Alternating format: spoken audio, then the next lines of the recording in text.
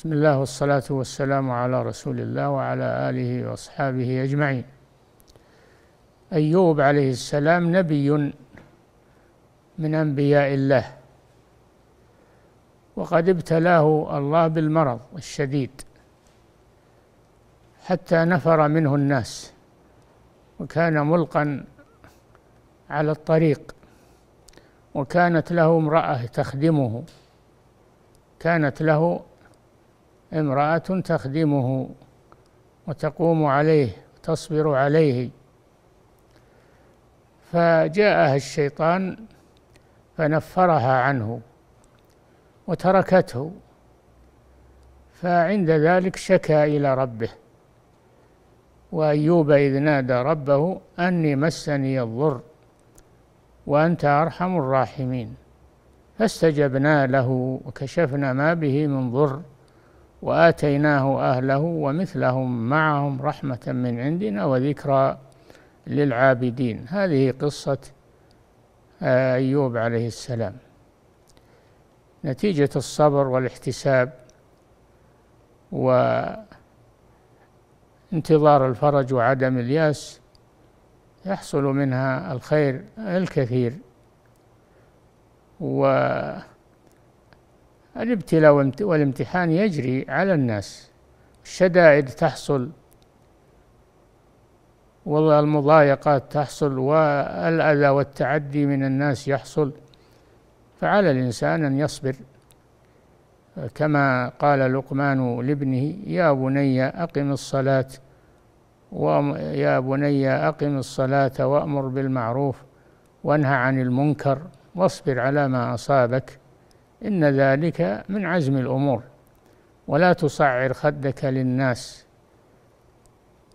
ولا تمشي في الأرض مرحا. إن الله لا يحب كل مختال فخور. واقصد في مشيك واغضض من صوتك.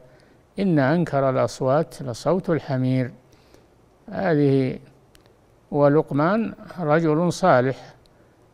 آتاه الله الحكمة. ولقد آتينا لقمان الحكمة. أن يشكر لله. من شكر فإنما يشكر لنفسه. ومن كفر فإن الله غني حميد. وإذ قال لقمان لابنه يا بني لا تشرك بالله. شوف بدأ بالنهي عن الشرك. إن الشرك لظلم عظيم. وصينا الإنسان بوالديه حسنا. وإن جاهداك على أن تشرك بي ما ليس لك به علم فلا تطعهما. صاحبهما في الدنيا معروفا واتبع سبيل من أناب إلي ثم إلي مرجعكم فأنبئكم بما كنتم تعملون. يا بني إنها إن تكو مثقال حبة من خردل تكن في صخرة أو في السماوات أو في الأرض يأتي بها الله. إن الله لطيف خبير. يا بني أقم الصلاة وأمر بالمعروف وانهى عن المنكر واصبر على ما أصابك إن ذلك من عزم الأمور. ولا تصعر خدك للناس ولا تمشي في الأرض مرحا. إن الله لا يحب كل مختال فخور. واقصد في مشيك واغضض من صوتك. إن أنكر الأصوات لصوت الحمير. هذه وصايا لقمان لابنه وهو يعظه. وهكذا ينبغي للمسلم أن يوجه أبناءه وذريته مثل هذا التوجيه العظيم المبارك الذي أثر في الذرية ويؤثر في الذرية. الله ذكر لنا هذه القصة لنتخذ منها قدوة لنتخذ منها قدوة وأن الإنسان يشكو إلى ربه ولا يشكو إلى الناس. فأيوب إنما ذكر إنما شكى إلى ربه. دل على أن الشكوى إلى الله لا تنافي الصبر لا تنافي الصبر.